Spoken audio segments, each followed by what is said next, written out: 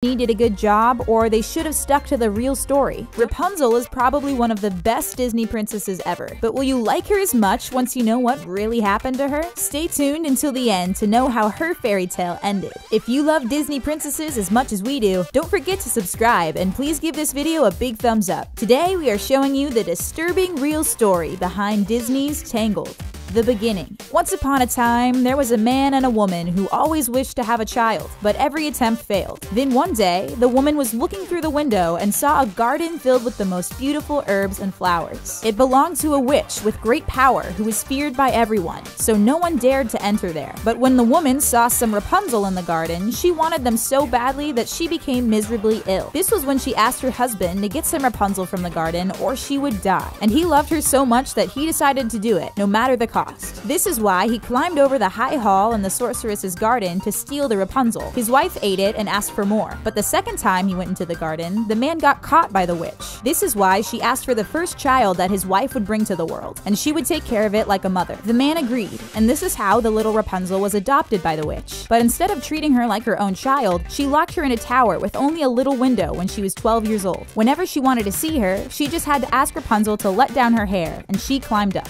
The Prince. Rapunzel was feeling really lonely in her tower. That was until a prince was riding through the forest. He heard the beautiful voice of the young woman who was singing in her tower. Unfortunately, he couldn't find any way to climb up the tower. He came back another day and saw the witch climbing up her hair. This is why he had the idea to pretend that he was the witch, asked Rapunzel to let down her hair, and climbed up. The young woman had never seen a man before, and she was terrified. But then he began talking to her in a friendly manner, and she lost her fear. He immediately asked her if she would take him as her husband, and she immediately said yes. However, she didn't know how to get down. This is why she asked him to bring a strand of silk every time he would come to the tower. This way, she would be able to weave a ladder, and she would climb down when it would be finished. Then, he would have the chance to take her on his horse. This is why they made sure that they would be able to see each other every evening to make sure that the witch wouldn't see him during the day. However, their fairy tale ended when the young Rapunzel made one big mistake the pregnancy. In the latest version of the story, Rapunzel was simply dumb enough to ask a really stupid question. Out of nowhere, she asked the witch why it was more difficult to pull her up compared to the young prince, who will be arriving any moment now. But another version of the story is a little less appropriate for children. When you know that the prince didn't mind climbing up Rapunzel's hair every night, you probably guessed that his intention was not only to bring her a strand of silk. After all, it would have been easier to simply bring a ladder, and the couple would have been able to run away together. But the prince was really interested in being in her room room every night, and you know what this can lead to. The young woman innocently asked the witch why her waistband was getting bigger. This is when the witch understood that the young Rapunzel was pregnant. The couple had been having fun before marriage, and the prince never told her that she could get pregnant from this. This was when the witch understood that she had been seeing a man during all this time, even though she had tried to remove her from the world. Then, the witch decided to punish her, and this is not something that any kid would like to see the tragedy. When she found out that Rapunzel had been betraying her during all this time, she decided to cut off her hair. Then, she took the pregnant young woman into the wilderness where she suffered greatly. On the same day, the witch decided to stay in the tower and tied the cut off hair to the hook at the top of the tower. By the way, that means that Rapunzel would have been able to escape on her own if she cut her hair. But she also told the witch about her prince, so she was probably not that smart after spending so many years alone in a tower. Anyway, the prince asked Rapunzel to let down her hair, and this was when the witch witch let down the cut off hair to trick him. The prince climbed up the tower, and this was when he found the witch who was waiting for him. She told him, You have come for your mistress, darling, but that beautiful bird is no longer sitting in her nest, nor is she singing anymore. The cat got her and will scratch your eyes out as well. You have lost Rapunzel. You will never see her again. The prince was overcome with grief, and he threw himself from the tower. He survived, but fell into thorns that poked out his eyes. The end. That couldn't be a fairy tale without a happy ending, but unfortunately, it wasn't as good as it seems. The prince had become blind, and he wandered around in the forest eating nothing but grass and roots. But the most terrible thing was probably that he lost the love of his life. That was until he finally found the place where Rapunzel has been living, with the twins she had given birth to. That means that she had given birth alone in the wilderness, even though she didn't even know what pregnancy was. The prince heard a voice that sounded familiar. He approached it, and this is when Rapunzel finally recognized him. The young woman then threw her arms around his neck, crying. Two of her tears fell into his eyes, and the prince wasn't blind anymore. This was when he was able to lead her into his kingdom, where he and his new family were received with joy. In another version of the story, Rapunzel had to live alone in the desert, which makes things worse. But both stories had the same happy ending. The young couple then lived happily ever after with their two kids. We all think that we know how the story of Cinderella goes, but there's some things we didn't know, and those things can be dark, disturbing, and just bizarre. Stay tuned to the end to see how the story really finishes. Today, we are going to tell you the disturbing real story behind Cinderella. While the Cinderella story we all know and love is a nice, sweet tale about good people getting their rewards and bad people being punished, it hasn't always been so family friendly. One of the more grotesque and gory versions of the story was the one written by German storytellers, the Brothers Grimm. This is Cinderella, just not as we know it. In this version, Cinderella is the daughter of a wealthy merchant whose wife dies. When he remarries, things take a turn for the worst. However, Cinderella's new stepsisters aren't the ugly sisters sisters who we are used to. They are actually beautiful, but have cruel personalities. And in the Brothers Grimm's telling of the tale, the wicked stepmother barely makes an appearance. Anyway, the sisters call Cinders Aschenputtel, which is German for ashful. There are other differences too. There is no sign of the fairy godmother anywhere in the story. Here, Cinders has a magical hazel tree which she waters with her tears and grows above her mother's grave. When she wishes for something by the tree, a bird comes comes and gives it to her. And when the prince holds his ball, the bird gives her clothes of silver and gold. That includes golden rather than glass slippers. But where it gets really dark is after the ball. The prince finds her golden slipper and fits it on the two stepsisters who both cut off some of their toes to get it to fit. Gross! They are then caught when the bird sings the rhyme, Turn and peep, there's blood within the shoe. The shoe is too small for her, the true bride waits for you. Very different from the version of the story that we are all used to.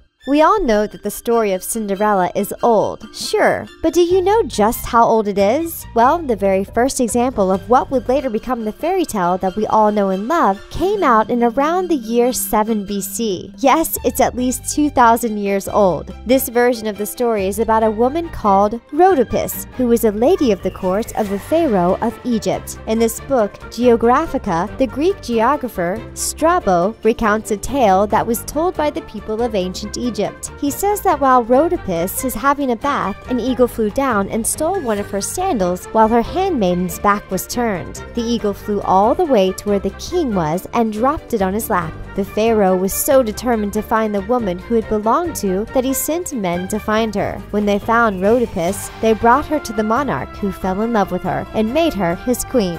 Of course, this is a long way from the story that we are familiar with, but it's the start of something. One of the most famous parts of the story in Cinderella is the glass slipper, which Cinderella loses on the way back from the ball. When the handsome prince finds it, he becomes determined to track down its owner. When the shoe fits Cinderella, the prince marries her. However, there is a bit of controversy stemming from what is believed by some to be a mistranslation. The most famous version of the story is the one told by French writer Charles Perrault. He is the person who gave us the idea of a glass slipper being used by the prince to identify his future bride. However, some people believe that it was really a slipper made of squirrel fur. That is because the French for glass, verre, and squirrel fur, ver, are very similar sounding words. This has led to a particularly dark and twisted interpretation of the story. The idea is that the prince testing out the first slipper is a reference to the medieval practice of droit de seigneur. That was when a lord was able to spend the night with any woman who lived in the area he ruled over. Like we said, pretty dark stuff. While the story of Cinderella is something that we all know, it has many influences. Some of the stories that gave birth to the tale that we tell today are pretty disturbing. One of them is the story of Fair, Brown, and Trembling. This is a folk tale that comes from Ireland. It's about a king, Ed Carucha, who has three daughters called Fair, Brown, and Trembling. Trembling is the most powerful of the three, so the other two hate her and pick on her. Sounds pretty familiar, right? When the son of the king of the land of Emania is betrayed betrothed to Fair, Trembling is sad because she has no dress to wear to church. However, the woman who looks after the royal chickens granted her some magic items which gave her a dress, which meant the prince fell in love with her. Trembling lost her shoe riding from the church, which is how the prince found her. However, that's where it gets pretty dark. Fair later pushes Trembling into the sea, and a whale swallows her. She disguises herself as her sister, but the prince is able to see through her disguise. In the end, Fair gets abandoned in a barrel.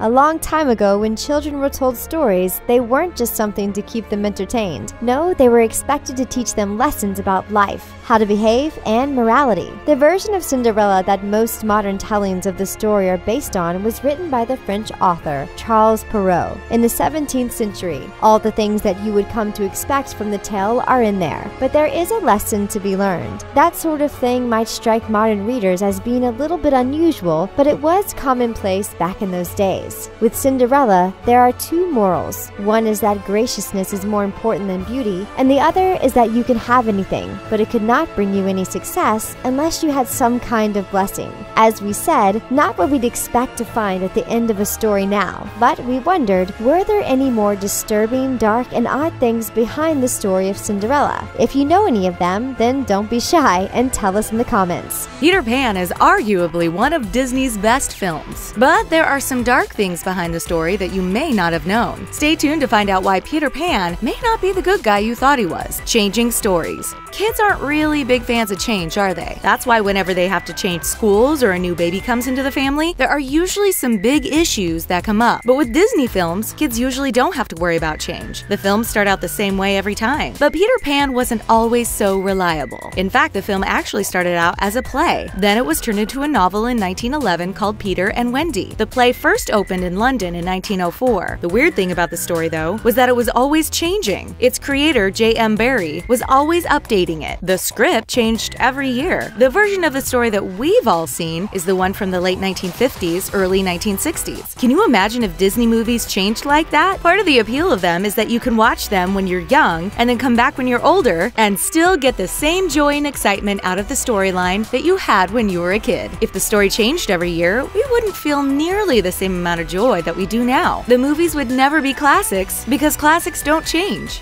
Fairy dust. You'd never think of Peter Pan as being a movie that is not safe for kids to watch. The whole object of the movie is to be a kid forever, so of course, the movie has to be okay for kids to watch. Unfortunately, that wasn't always true. In fact, the original story of Peter Pan was actually a bit of a health hazard for children. Don't know what we're talking about? Okay, let's break it down. So, in the original versions of the story, Peter Pan and the Lost Boys could fly on their own. This caused kids who knew the story to try their own hand at flying. There were reports popping up everywhere of kids jumping from their beds and trying to fly. Of course, all these kids soon learned that they could not fly, but not before they were left with injuries. To combat this, J.M. Barrie added fairy dust to the story. In the newer versions of the tale, fairy dust is a necessary component of flying. This made the story much safer for kids to watch. Since no kids had their own little fairy or fairy dust lying around, there were way fewer injuries after this element was added to the story. The Lost Boys. When watching the film, you probably thought how great it would be to be a lost boy, to never have to grow up, to stay young and have fun forever. But that eternal youthfulness may not have been all that it seemed. In fact, there is one line in the story that people tend to just skip over. But this one line shows what might be a horrible, horrible truth going on behind the scenes. The line in the story says, The boys on the island vary, of course in numbers, according as they get hurt and so on. And when they seem to be growing up, which is against the rules, Peter thins them out, but at this time there were six of them, counting the twins as two. Did you hear that? When they start to age, Peter thins them out, as in Peter gets rid of them. Some users on Reddit have suggested that the way Peter gets rid of the Lost Boys is by dropping them over crocodile infested waters, which is pretty morbid and not really something we want to spend too much time dwelling on. We just can't believe that Peter Pan may be a murderer, but it is right there in the line of the story. Of course, Disney didn't include that in the film. Hating adults. Okay, so we all know that Peter Pan was obsessed with staying young forever, which in itself is a little creepy. He probably should have been seeing a therapist to work out his issues of never wanting to age. Anyway, Peter's fear and disdain of growing older may have caused him to actually hate adults. And we don't mean in the normal I don't like adults because they have too many rules way. We mean like really hate them. There is a line in the story that reads As soon as he got inside his tree, he breathed intentionally quick, short breaths at the rate of about five to a second. He did this because there is a saying in the Neverland that every time you breathe, a grown up dies. And Peter was killing them off vindictively as fast as possible. See, Peter was kind of evil. Even if you don't like adults, you shouldn't be out to get rid of them all. What kind of horrible person does that? Peter, apparently. We definitely see why Disney left this part of the story out. We can't imagine that parents would have allowed their children to watch the film if that part had been included stealing boys. The author of the Peter Pan story may have actually been a much darker version of Peter Pan in real life. Why? Because apparently he stole his own crew of lost boys. Basically, what J.M. Barrie did was manipulate his way into the lives of two people named Sylvia and Arthur Llewelyn Davies. The Davies had three children George, Jack, and Peter. Throughout the lives of the kids, J.M. spent lots of money on gifts for the family and would spend lots of time playing with the boys, having fun in the park and making up stories. Later, Arthur and Sylvia both died of cancer within a three year time span of each other. When this happened, Barrie took guardianship of the boys. The real kicker is that he forged Sylvia's will so that he could take custody of the kids. None of the children's actual relatives ever objected to him taking the children. Years later, once Peter had grown up, he said that the whole thing with Barrie taking custody of him and his brothers was the most pathetic and ludicrous thing that someone could have done. Either this is an extremely sad tale or a very creepy one. Perhaps JM really did want the best for the kids, but forging a will and lying is not the way to go about it. Relationship to Michael. Okay, we may have to take back what we said about JM maybe wanting what was best for the boys. Because when you look deeper into the story, the whole thing just gets creepier and creepier. JM really loved taking pictures of two of the boys, Michael and George. Sometimes they would be wearing costumes that he made, and sometimes they would be wearing no clothes at all. If a grown man stole children and then was always taking pictures of them today, that would have raised several flags. But for some reason, no one really seemed to be concerned. He even wrote about his weird relationship with the boys in this book, The Little White Bird. Even though the book described him doing some weird things, it was really popular when it was published. To make matters worse, in June of 1908, J.M. wrote a letter to Michael for his eighth birthday that was so creepy it gives us chills. It said, I wish I could be with you and your candles. You can look on me as one of your candles, the one that burns badly. Dear Michael, I am very fond of you, but don't tell anybody. Um, gross.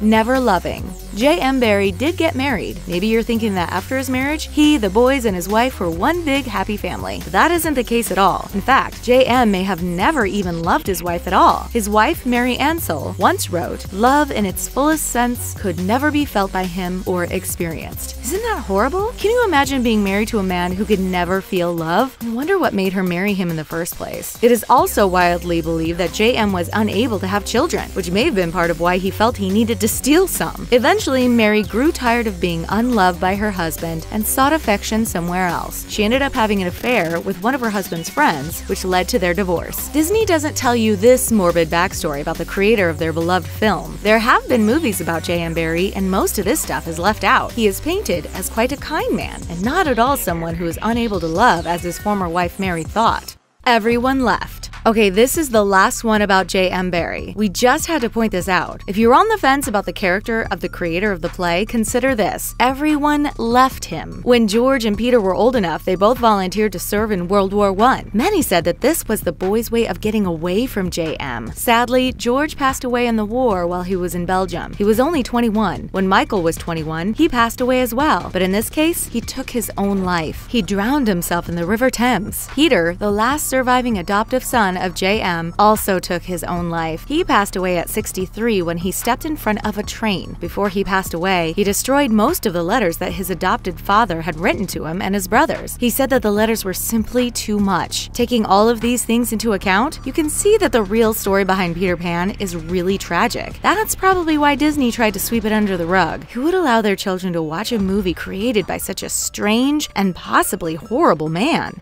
The original story. In the original story of Peter Pan, he was only a week old baby when he left home, and he never aged past that. In the story, Peter thought that his mother would always love him and always would leave a window open for him to return. Because he wasn't worried about losing his mother's affection, he spent all of his time playing with the fairies and the birds and never worried about going back home. The problem is that while Peter is away, time is still clicking forward. When he finally does decide to go back home, he's too late. His mother has barred the windows so that he can no longer enter. And to make matters worse, she has a new baby. Peter then believes that his mother's love was not unconditional, as he once thought, and he'd been replaced. When you view the story like this, it's quite sad. No one wants to believe that their mother could just get over them and move on. No one wants to believe that if they play outside for just a bit too long, that maybe when they come back, their mother will have a new baby. Maybe that's why Disney added all those frills and feel good moments to the story, so that people could come away from the movie feeling good and not depressed. Peter Pan is the villain. In both the book and the play, Peter Pan has no problem with murdering people. He does so to the pirates pretty easily, and then as we mentioned earlier, he may have also been doing the same to the Lost Boys who got too old. In the book, he also alters the bodies of the Lost Boys so they can all fit through the tree holes to get to their underground dwellings. How he alters their bodies isn't really specified, but we can only think that he's probably cutting off things or breaking things so they can fit into smaller places. Another thing that makes him a villain is that he can't tell the difference between what's real and what's fake. Sometimes he gives the Lost Boys pretend meals and then won't believe them when they say they're still hungry. In addition to this, the Lost Boys are always in serious danger in the play and the book, but instead of being concerned for them, Peter usually finds the danger entertaining. He always saves the boys, but he doesn't save them because he loves them. He does it so that he can have a chance to save them again and show off how clever he is. Isn't that just a little bit irritating? We all know and love the Disney classic Pocahontas, but the truth behind the story is actually a lot more messed up than anyone ever thought. Stay tuned to find out why John Smith and Pocahontas may have never actually been in love.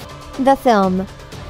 Was it just us, or was Pocahontas one of your favorite Disney princesses too? She was a total boss, whereas most princesses are kind of meek and gentle and do whatever their fathers tell them. In the film, Pocahontas was her own person. She did what she wanted and she never took no for an answer. Okay, if you aren't familiar with the film, first of all, what have you been doing with your life? But we'll be kind and back up a little bit. So, the Disney film centers around Pocahontas, who is the daughter of the chief of the Powhatan tribe. At the beginning of the movie, our favorite heroine learns that her father wants to marry her off to Kocoum, who seems nice and is super hot, but Pocahontas just doesn't love him. During all of this time, the British settlers come to Pocahontas' land. John Smith, one of the settlers, is less interested in the gold that his crew came to find and more interested about actually exploring the new world. While he is exploring, he meets and falls in love with Pocahontas. But their love affair is pretty doomed because John tells his leader that there is no gold in the land, and instead of backing off, the leader declares that they will wipe out all of the natives. Seems reasonable, right? In the midst of all this secret romance and battling, Thomas, one of John's friends, ends up taking Kocoum's life. Later, John is taken as captive, but instead of letting him be hurt, Pocahontas throws herself in front of John and begs her father to save him and not to start a war. John is spared, but does end up getting a gunshot wound and has to travel back to England for treatment. But before they part, Pocahontas promises John that he will always be in her heart.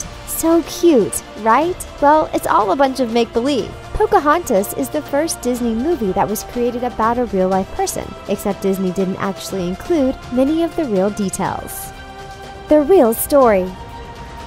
Here's what really happened. Apparently, Pocahontas' mother died giving birth to her. Her birth name was actually Matoaka, which means flower between two streams, and was probably given to her because she was born between the rivers of the Mattaponi and the Pamunkey. After her mother died, Pocahontas' father was really sad, and Pocahontas became his favorite child because she looked so much like her mother. She was raised by her aunts and other women in their tribe. During that time, it was customary for the paramount chief to have other wives. So Pocahontas' dad had a few other wives in other villages. So the family wasn't just Pocahontas and her dad like the movie made it seem. Here's where the story starts to get creepy. According to her tribe history, Pocahontas was only about 10 years old when John Smith and the colonists arrived in 1607. John Smith was around 27. So if they did have something going on, it would have been absolutely disgusting. Luckily, they were actually never married or even involved with one another. The children of Pocahontas' tribe were all watched very carefully, and because she was a princess of sorts, she was probably watched even more closely and provided with cultural training that the other children did not get. On the other side, in the movie, we saw John Smith as this guest guy who saw all men as equal and was both equally kind and hot. In real life, the native people stayed away from him because he was known to go into people's villages and put guns to their heads and demand food and other supplies. In the winter, John Smith met with the Powhatan warriors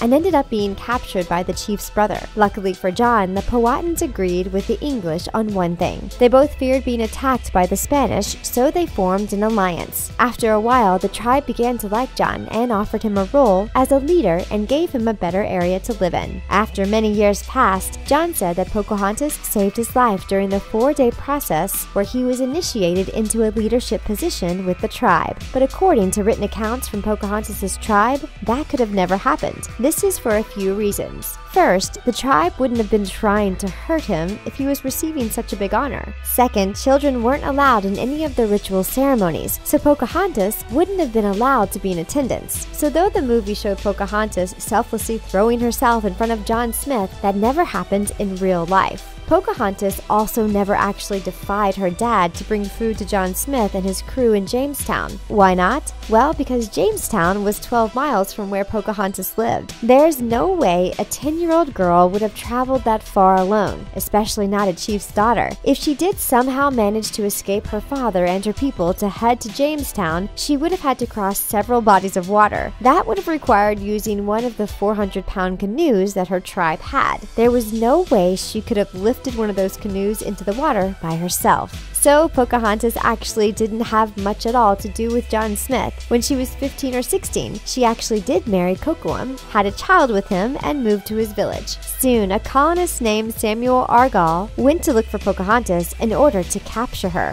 He demanded that the tribe give her up or suffer an attack. She was forced to leave her child in the village and go with Samuel. Though she went as she was told, Kocoum was still attacked after she left. Later, Pocahontas married Englishman John Rolfe and converted to Christianity. Some say that she married him for love, but she was never allowed to see her family again, so it doesn't sound like the relationship was very mutually beneficial. John Rolfe is mentioned in the second Pocahontas film, and she does go on to marry him in the movie, but Disney conveniently leaves out the kidnapping and how the two ended up meeting, probably because no one would be able to sleep through the night after hearing the real story.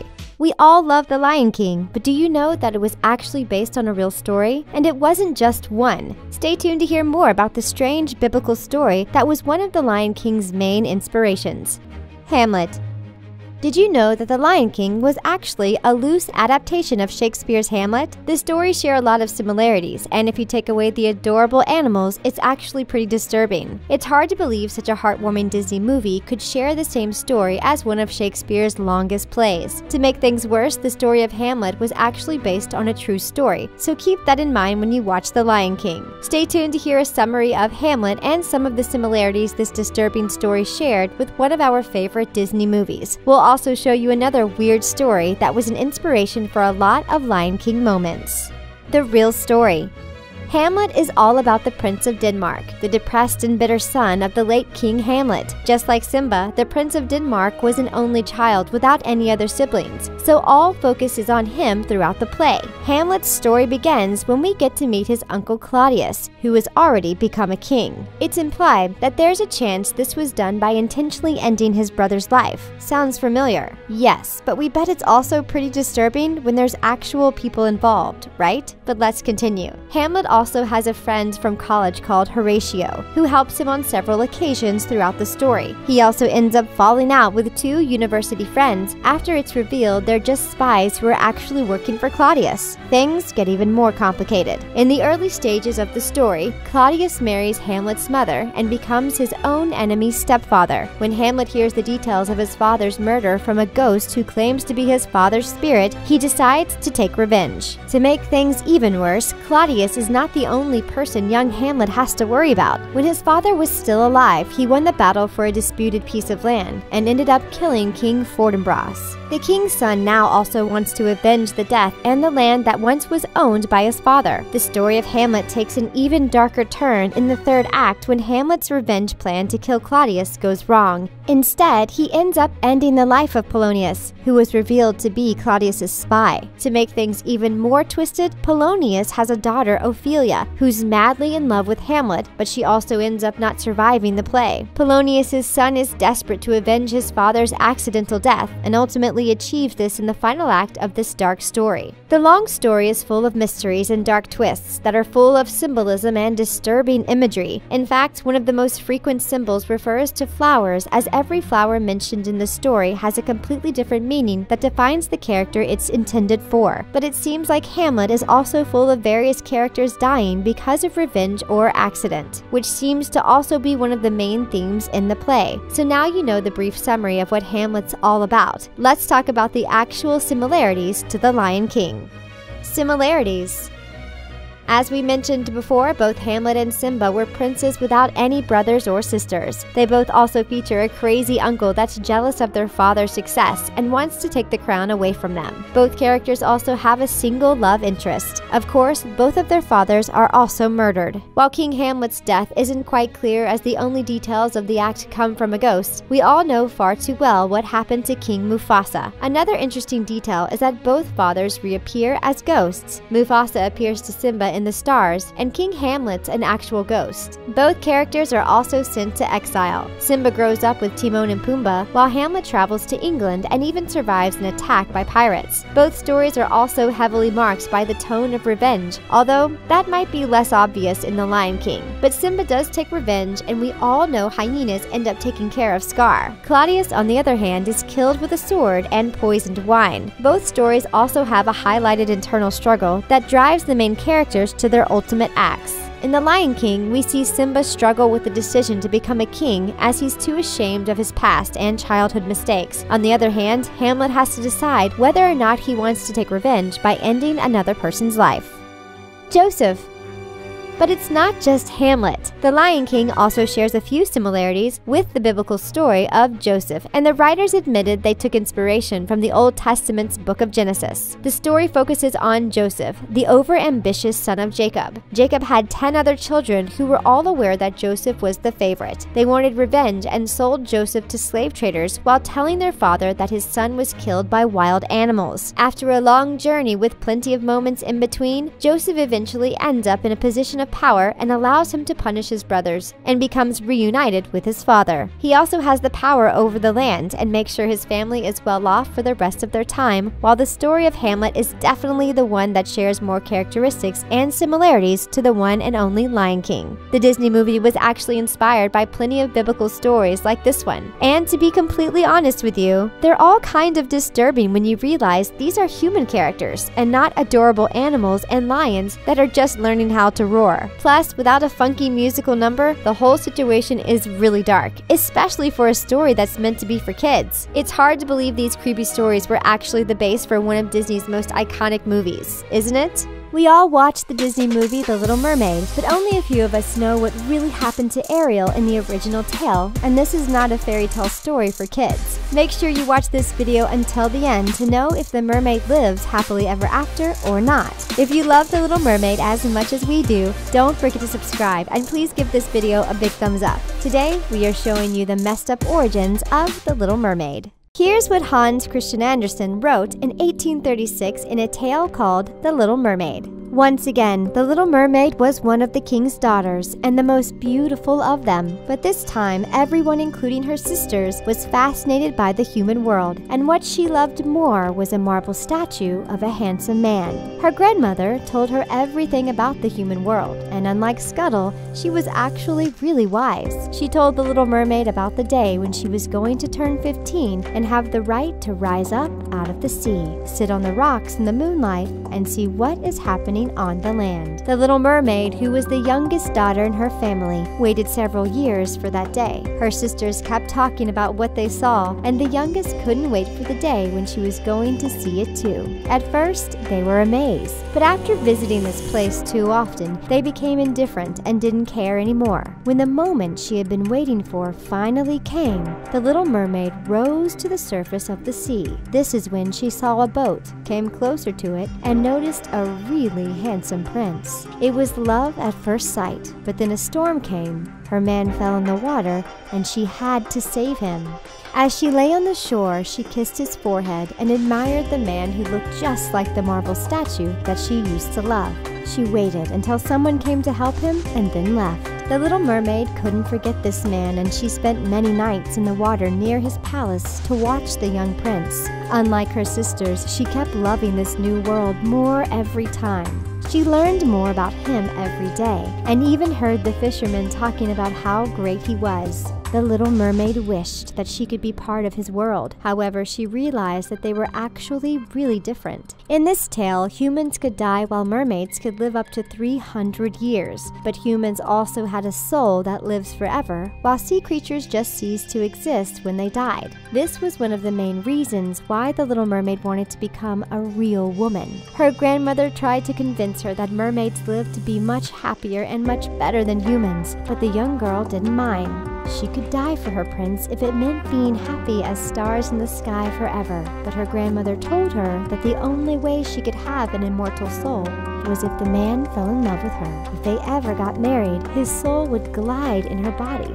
and they would be united. This is why, while everyone was at the ball, she decided that she would do anything it would take to meet her prince. Her grandmother told her that a fish tail was beautiful under the sea but looked disgusting on earth, and this is why she had to find a way to have legs. She went to see the sorceress, and even the sea witch said that she was stupid, but there was something she could do for her. The little mermaid could drink a draught that would make her tail disappear and turn into legs that would make her the prettiest little human being they ever saw. But this transformation will feel as if a sword was passing through her, and every step she takes would feel like she was treading upon sharp knives. If she could bear with this, the sorceress would help her, and the little mermaid was so desperate that she said yes. The sea witch had to warn her that once she became human, she will never see the ones that she loves ever again and only become foam on the crest of the waves. It wasn't enough to stop the young girl, but then the sorceress said that she had to pay the prince. In exchange for a pair of legs, she had to give away her voice. The mermaid said yes one last time, and the sorceress cut off her tongue before preparing the draught. The little mermaid didn't even take the time to say goodbye to those she loved, as she felt too dumb after making that choice.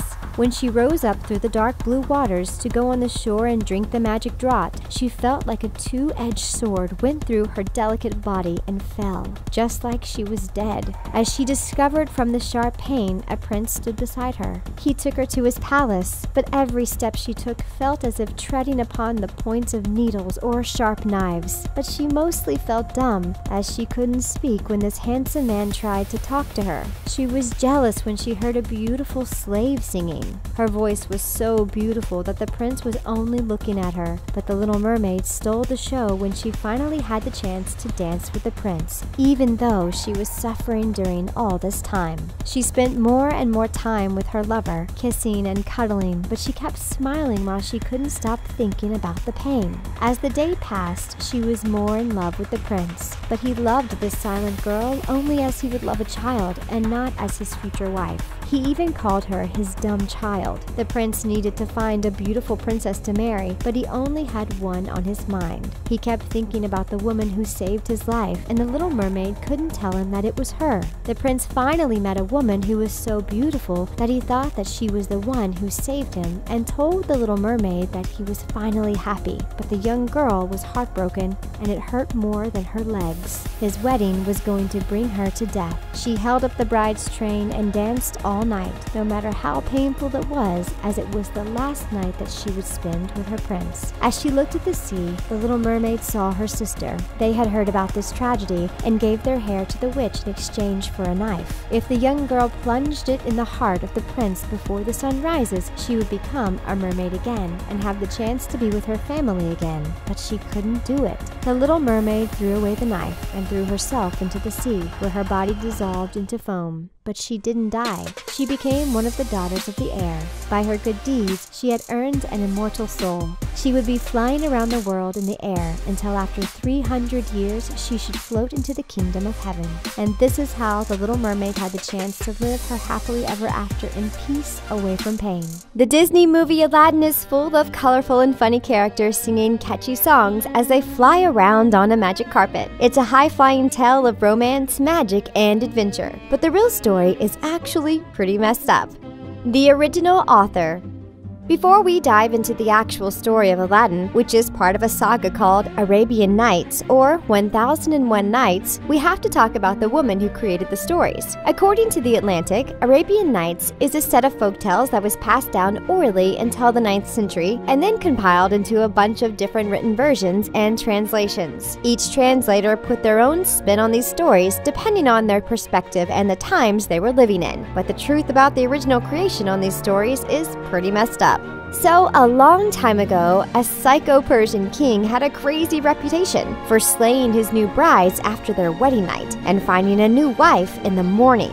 There was a clever chick by the name of Shahrazad who knew about the king's reputation. She was forced to marry this deranged lunatic, but she had a little trick up her sleeve. Every night before he went to sleep, she would tell the king a story and end it with a cliffhanger to keep him in suspense. This kept the king hooked while ensuring she would live another night because he wanted to find out how the story ended. This girl basically invented the cliffhanger in order to save her own skin. The result was a series of folktales that have been handed down over the years, translated into a bunch of different languages, and eventually became a Disney movie that we all loved. Shahrazad probably would have loved Robin Williams' portrayal of the genie. A common theme in these stories is the cleverness of women to overcome oppression. Acclaimed Lebanese author Hanan al Sheikh, who retold stories of Arabian Nights, had a very interesting take on this series. She said she believes Shahrazad's power over the king does not stop with her ability to keep herself alive by entertaining him. Ultimately, she exerts far more power over him than that. The author says each story was a plea for reason and mercy. Through all these stories, she is trying to influence the king and maybe even brainwash him. These stories, Hanan al Sheikh believes, slowly taught the king to give up his evil tendencies and hatred of women. In her stories, Shahrazad mirrors her own predicament. All of her characters are pleading for life in their own way. She cleverly disguised these stories, making the characters and topics slightly different. But the author pointed out that the main point of these stories is that you cease to be a human being if you steep yourself in brutality and evil. It's important to note that the story of Aladdin was not added to the collection of Arabian Nights until much later by a French translator named Antoine Galland. Still, the story of Aladdin suddenly becomes much more intriguing when you think about a woman making it up on the spot for a mad king in order to save her own life.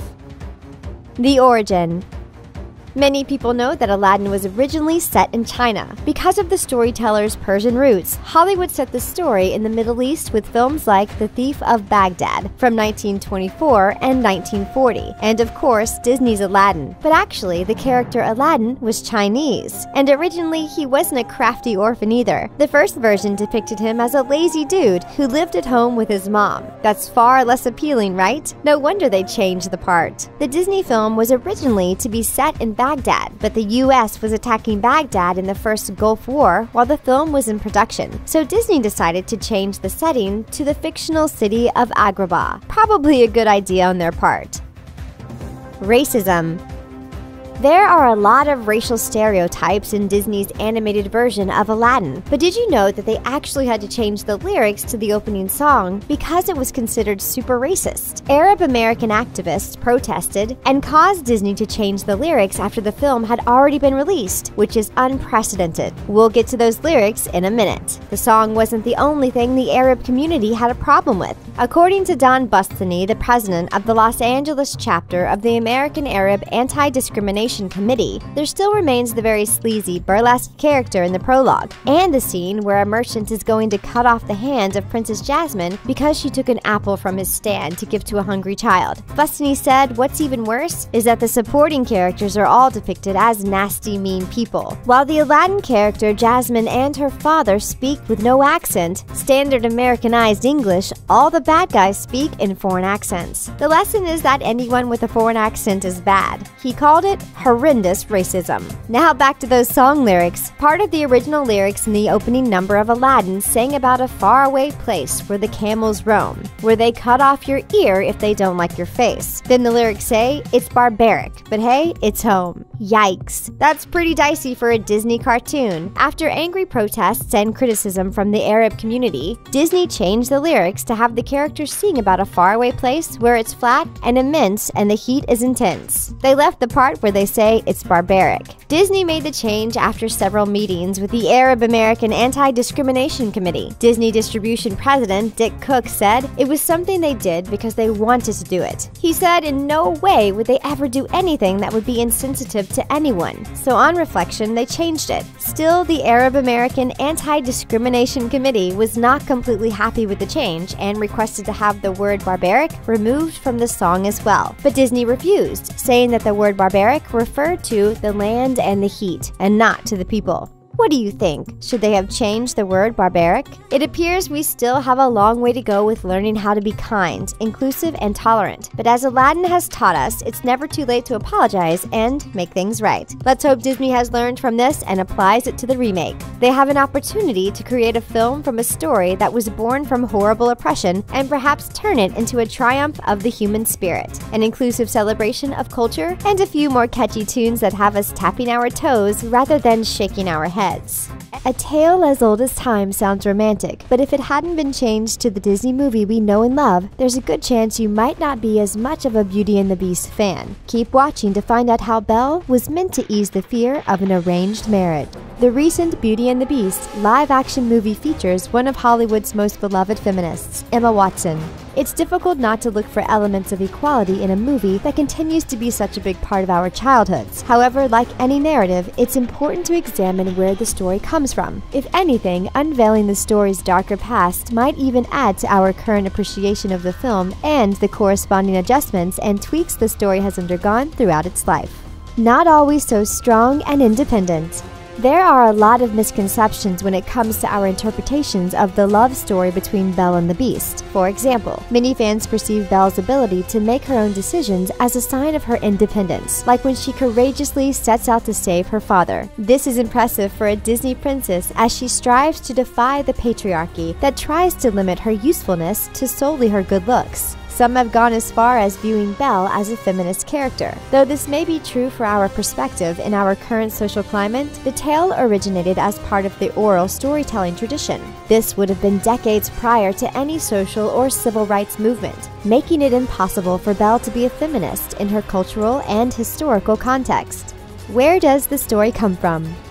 Looking at where the story of Beauty and the Beast originated is very helpful in understanding how far our interpretation of Belle has come. A professor of folklore and mythology, Marie Tatar, explained how this contextual change happened. Tatar divulged in a Glamour interview that the story of Beauty and the Beast has existed among communities for longer than we can track. The story we know and love was first published in print by French author Madame Gabrielle Suzanne de Villeneuve. In this version, Belle is a good fairy and the descendant of a king. This tale was based on the real story of Petrus Gonsalves and his bride Catherine. Petrus was afflicted by a condition called hypertrichinosis, which caused excessive hair growth all over his body. He was initially adopted by the French royal family for their amusement. Petrus would go on to marry Catherine and they became a celebrity couple, so using them as inspiration for a printed version of the existing oral tale makes sense. After all, people want to read about things things they have experience with. However, it was a French author, Jean-Marie Le Prince de Beaumont, who wrote a second print version of the fairy tale. Beaumont's version was meant to serve as a lesson for girls ranging from ages as young as 5 to 13. Her goal was not to empower young women and inspire them to make their own decisions, quite the opposite. Beauty and the Beast was meant to prove to young 18th century readers that arranged marriages aren't as bad as they may seem.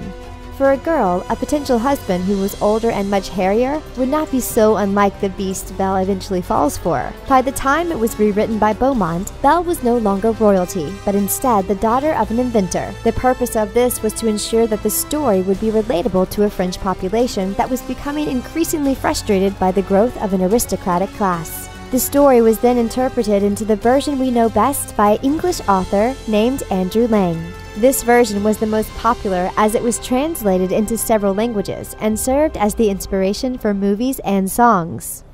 The Disney version Finally, in the most recent live action film, director Bill Condon added another modification. In this version, Belle is an inventor who creates a washing machine to provide her with more time for reading. The nature of the invention has also been criticized as relying too heavily on gender roles. We can use this as a true testament of how far audiences have come. The Disney animated and live action narrative suggests that Belle makes an independent decision to save her father and sacrifices her own freedom in exchange. The beast, depicted as angry and violent, eventually succumbs to Belle's intelligence and kindness, and they find a love that transcends appearance. This is not the case in the original story. Instead, Belle is sent to live with the beast, who is more attractive and offers her any luxury she desires. By the end of the story, she accepts her situation and falls in love with the creature she has been destined to marry. This would not have been too unlike young girls who were forced to marry older men. Another theory presented by Tatar is that the beast serves as a metaphor for fear itself. Following this logic, the beast is a representation of Belle's fears. Once she confronts these fears and feels at peace with them, she is able to see the beast for who he is, as her judgment is no longer clouded by her concerns. Essentially, through the scary image of the beast, the audience is supposed to learn that the worst part of being held captive against your will is your fear. Once you move past that, you will see that life isn't as bad as it seems. Disney found a way to flip this on its head, making sure that the beast's insecurities were the reason for his harsh attitude towards the rest of society that had exiled him. The takeaway On one hand, Disney is advocating for a feminist rendition of Beauty and the Beast. On the other hand, we may continue to find fault in the problematic power dynamics that prevail in all retellings of the story. Nevertheless, the movie continues to bring up important questions about what it means to be in a healthy relationship. As long as it's properly contextualized for a young audience, presenting difficult and uncomfortable narratives from an outdated literary tradition might cause us to continue to question the gender roles we still take for granted. According to Disney, Belle's compassion and intelligence allows Beast to show himself for who he is. Instead of Belle having to accept her situation, she helps the Beast confront his own issues and become a better version of himself. Somehow, Disney has successfully turned a story about female oppression in arranged marriages into an inspiring lesson about seeing others for who they truly are. That's it for our video. Don't forget to subscribe to The Things and hit that like button for more videos like this one.